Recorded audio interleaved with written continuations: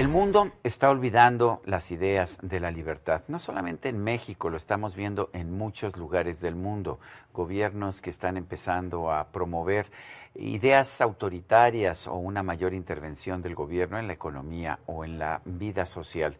Eh, hay algunas instituciones, sin embargo, como el Mises Institute de los Estados Unidos, que nos ofrecen las ideas de la libertad, que nos mandan una advertencia acerca de los riesgos que corre una sociedad que olvida las libertades individuales. Quiero agradecer a Jeff Deist, presidente del Mises Institute de los Estados Unidos, su presencia aquí en este programa. Jeff, thank you very much for being here with us. Thank you. Uh, there's uh, a lot of people now believe that you, we don't need freedom, we don't need to have uh, economic freedom or personal freedoms because the government uh, does things much better if we don't try to exercise our freedom. What, what do you tell them? Yeah, it's interesting. There is a lot of growing support for socialism, I think, especially amongst the under 40 mm-hmm. generation in the West. And it, there's a certain allure to it.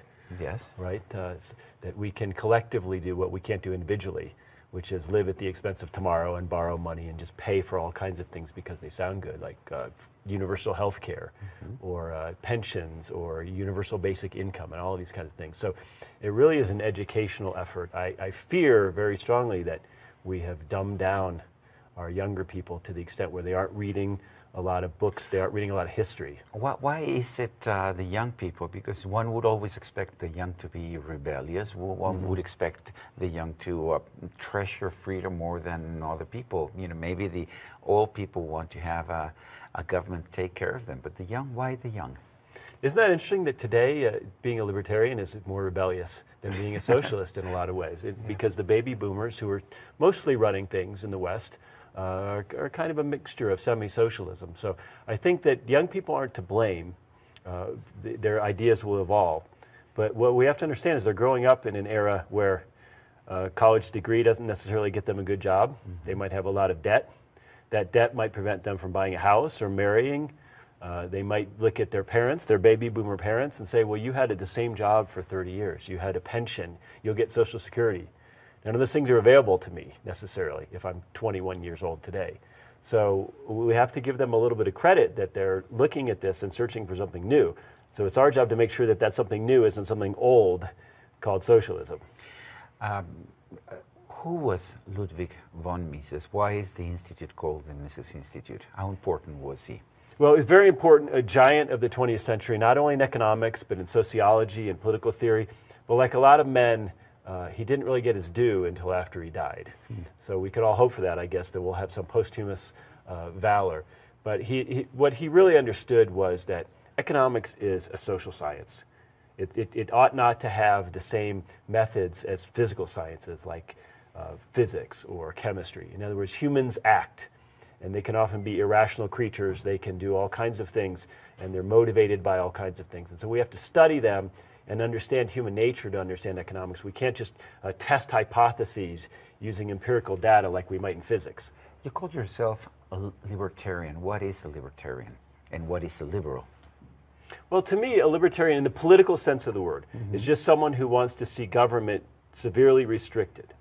Just like classical liberalism. Just like classical liberalism in that mm-hmm. sense. In other words, to allow social society, civil society, and free markets to, to work to create prosperity and also to deal with a lot of the social ills that we currently think government only can deal with, like housing and poverty and health care and food. Uh, so to me, a libertarian in the political sense is just someone who wants to see the private sector flourish and, and government to be severely restrained. The United States was for a long time the libertarian country, the country that respected human liberty or the various uh, economic and personal liberties. But mm-hmm. uh, there seems to be a change, at least over the, over the past few years. What's happening in the U.S.? Well, uh, historically, the United States has talked a better game about liberty than it's actually walked. Okay. Uh, it's, it's never been as libertarian or as free as we might like it. But for a, a long period, especially in the 1800s, it, just the vastness of the country made it difficult for a central government to logistically uh, ha- have much impact on people. But today, we find that the, the battle of ideas is the most important one. So it's not, it's not so much the state that we're fighting or the bad policies of government, it's more the ideas that later in life create support for that. That's our challenge. Uh, once ever so often, a ruler in Latin America starts uh, experimenting with mm-hmm. socialism or with other authoritarian regimes. Um, you know, we had the uh, Castro regime for a long time mm-hmm. in Cuba. Now we see Nicolas Maduro in Venezuela. And a lot of people in Mexico and a lot of people in Latin America consider a country like Venezuela as a role model. What's your opinion? Well, it's, it's certainly not a role model for anybody at, at the moment. Uh, a lot of people are looking to the West. They're looking to the United States to intervene, maybe, in Venezuela and to, oust Maduro, to recognize the assembly leader as the president. I think that's a bad idea. I think the United States has a very poor track record in Latin America.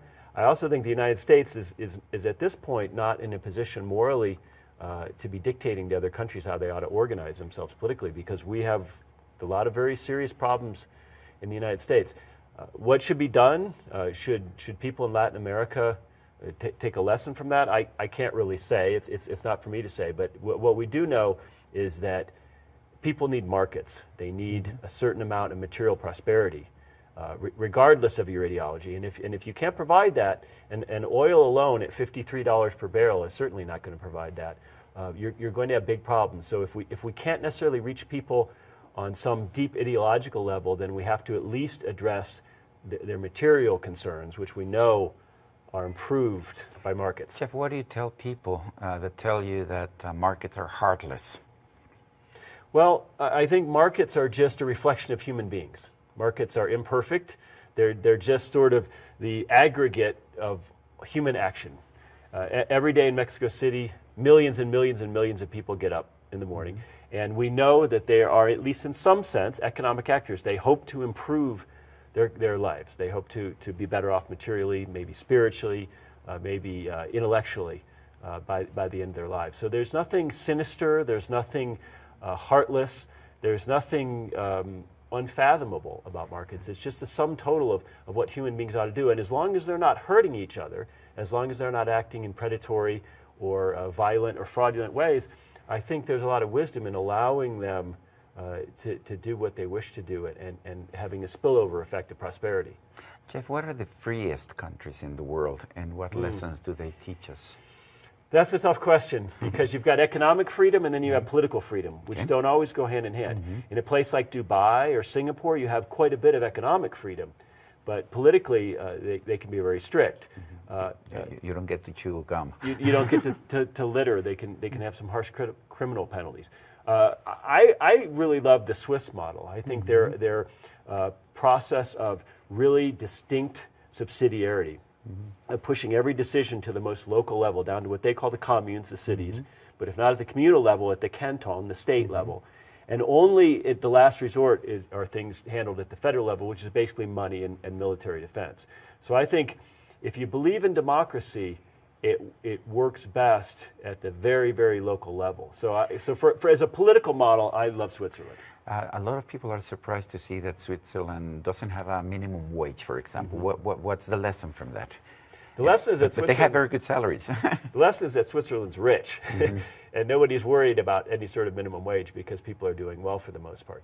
Uh, a, a, minimum wage is just is just a price control. It's it's no different than telling you let's say you have your, uh, you're getting a new car, you want to sell mm-hmm. your old one.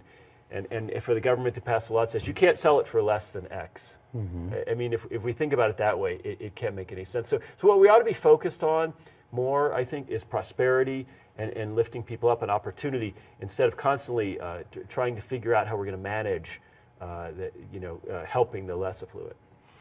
Um, the, uh, the states you, you've told us is a country that um, has claimed to be liberal, classical liberal, libertarian, but hasn't actually fulfilled its, uh, uh, hasn't met its use. It's not as, as libertarian as, as they claim to be. What are the faults of the states? What, what are they doing wrong? What they could be doing better?